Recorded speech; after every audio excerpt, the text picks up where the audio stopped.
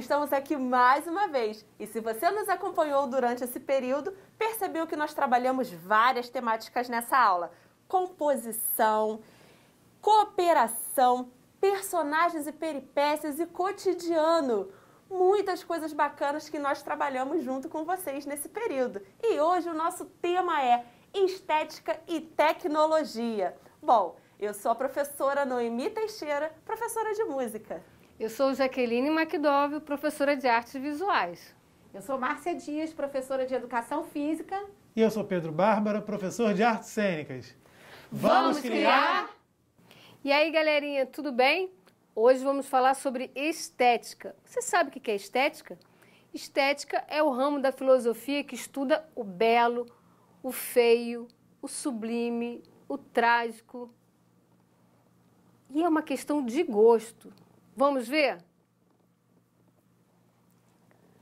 A estética, ela traz a percepção do que é belo. É uma questão de gosto para cada um.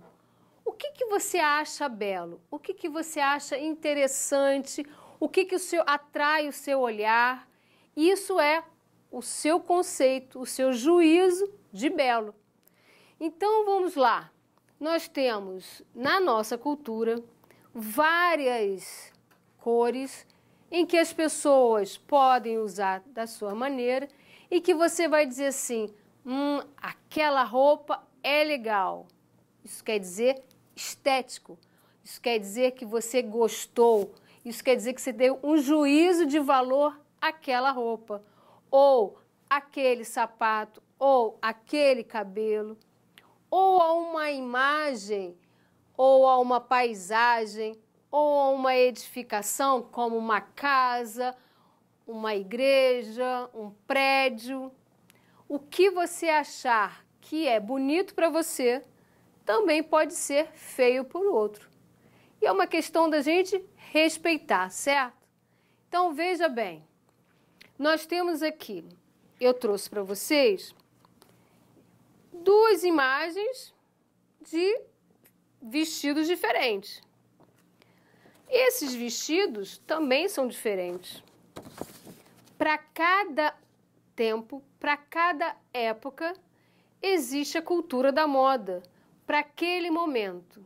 Se naquele momento da Mona Lisa usar preto, usar roupas escuras era elegante, assim ela se fez bonita. Se para Cezanne usar o vermelho na sua esposa era bonito, assim era o momento. Hoje nós usamos os rosas, os amarelos, os vermelhos, em cores puras, em cores misturadas. E assim é a estética, de acordo com o seu gosto. Aqui temos Zuzu Angel, uma estilista brasileira que trouxe à moda a estética das imagens de flores, da natureza. Ela trouxe uma diversidade, um colorido para a nossa cultura. E daí nós utilizamos naquele período cores bem claras, cores mais abertas, brilhantes foi a partir da pesquisa dela. A Mary Morrow, ela também viveu numa época diferente da Mona Lisa. O artista que pintou Mary Morrow pintou com cores bem exuberantes, diferente de Leonardo da Vinci, o artista que pintou Mona Lisa. E daí a gente pode ver o que é belo para mim. Mary Morrow, Mona Lisa, talvez as duas, o que é belo para você? O feio foi deixado de lado desde a antiguidade da Grécia até a idade medieval. Já no Renascimento, ele foi trazido à tona para se ver essa comparação e para se ver o bonito no feio. O que se achava o que é feio para o outro, o que é nas trevas, pode ser bonito para quem gosta. Então, a estética, ela está falando da percepção, da sensação e da sua sensibilidade. O que é bonito para mim pode não ser bonito para você. E isso a gente está falando de estética. A estética hoje em dia também tem uma outra conotação quando se fala de cuidados com o corpo, cuidados com a beleza, certo? No século XXI, sinônimo de estética é qualidade de vida, saúde e bem-estar. É exercitar o coração e a emoção, a beleza de dentro para fora. Porque não adianta você estar bonito por fora e triste por dentro. Isso tem a ver com a estética. Isso tem a ver com a sua percepção de vida. O que, que você acha bonito? Quando você cria, quando você constrói as suas criatividade, quando você constrói a sua imaginação, você vai vendo coisas bonitas, você vai fazendo ligações criativas. Isso faz com que você se sinta bem por dentro. E você pode até dizer esse, nossa, mas que pessoa feia. Mas que quando você está bem por dentro, você se torna uma pessoa linda para as outras pessoas, mesmo quem vê de fora. Então, estar bem é ter essa sensação de perceber, sen sentir e se sensibilizar com as coisas que foram dadas com a natureza, com o seu ambiente, aonde você está. Veja a beleza aonde você estiver. Se você estiver bem com você, você vai estar bem com o lugar que você está. Então, a estética, ela é encontrada também hoje na tecnologia. A tecnologia ela pode ser analógica ou digital. Depende do que você quer trabalhar. O que é analógico? Tudo aquilo que você faz manualmente, tudo aquilo que você pinta, usando a sua mão, usando o seu corpo, dançando, isso é analógico. Digital é quando você coloca lá na rede, quando você entra na internet. Então a gente pode ter jogos jogos analógicos, em que a gente vai brincar com o corpo, que a gente vai lidar com o nosso movimento, esse é o analógico. Ou a gente pode ver os jogos digitais, aquele né, do videogame que a gente fica lá parado, exercitando só os dedinhos. Pois bem, esse também tem a ver com estética, porque a gente vai escolher os nossos jogos de acordo com a nossa percepção, com a nossa sensação, aquilo do que eu gosto. Se eu gostar, se eu me sentir bem, eu vou fazer aquilo. Então, eu vou jogar, eu vou ver a tecnologia de acordo com o que eu sinto. Ok? Vocês gostaram? Bom, agora eu vou chamar o professor Pedro, de Artes Cênicas, para continuar a aula. Uhul! Tudo bem, pessoal? Bom, como a professora Jaqueline já começou um papo super bacana sobre estética, sobre tecnologia com a gente, eu trouxe aqui uma primeira referência sobre como a gente pode pensar estética deslocada para um outro ponto de vista. Como seria isso? Vocês já ouviram falar dos povos indígenas brasileiros, que na verdade a gente deve tratar pelo nome de povos originários. Esses povos originários, espalhados por todo o território brasileiro, tem diversas influências culturais, estéticas, artísticas para o nosso dia a dia. A gente aprende com as danças indígenas, com as músicas indígenas e com os instrumentos e com algumas imagens e artes que eles praticam, que eles criam, né, e que influenciam várias coisas que a gente usa no nosso corpo, na nossa alimentação, no nosso dia a dia. Quando a gente fala de estética, é importante a gente pensar que é sempre um ponto de vista sobre alguma coisa também.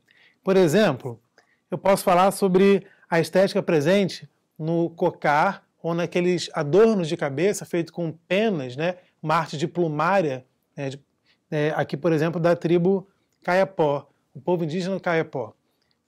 Posso falar sobre a cestaria do, do povo Caigangue e Guarani.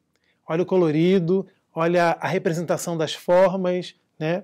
A gente pode falar sobre o padrão que aparece em alguns tecidos, sobre que aparece em alguns, alguns vasos, alguns vasos de cerâmica. É, aqui, por exemplo, da tribo Camaiurá, do Alto Xingu, que fica ali pela região centro-oeste do Brasil, Mato Grosso, e a arte marajoara, são cerâmicas feitas com é, um material que é encontrado lá no Pará, né, alguns povos indígenas que vivem lá no Pará. A gente tem diversas referências que são muito interessantes para a gente falar sobre uma estética dos povos originários do Brasil, aqueles primeiros povos que estavam aqui na nossa terra antes mesmo da chegada dos portugueses e de outros países, né, de outras pessoas. Bom, espero ter contribuído aí um pouquinho com uma estética diferente para que a gente possa ampliar o nosso repertório de imagens, de visibilidade e poder pensar aí sua própria criação estética. Tudo bem? Eu vou chamar agora uma outra pessoa para trazer um outro ponto de vista sobre essa questão da estética para vocês. Tá bem? É com você, Noemi. Anyan so, anyan de, anyan so. Não, a sua televisão não está com problema? Eu estou falando em coreano. Já que estamos falando de estética, a estética musical do momento é K-pop, música popular coreana. Eu acabei de dizer: Olá, alunos, tudo bem? Um hit que conquistou muitas pessoas de várias partes do mundo, mesmo sem entendermos a letra. O K-pop recebeu influências de diversos estilos para compor a sua identidade visual e sonora. No K-pop nós temos estilos como pop, hip hop, jazz, rock, country.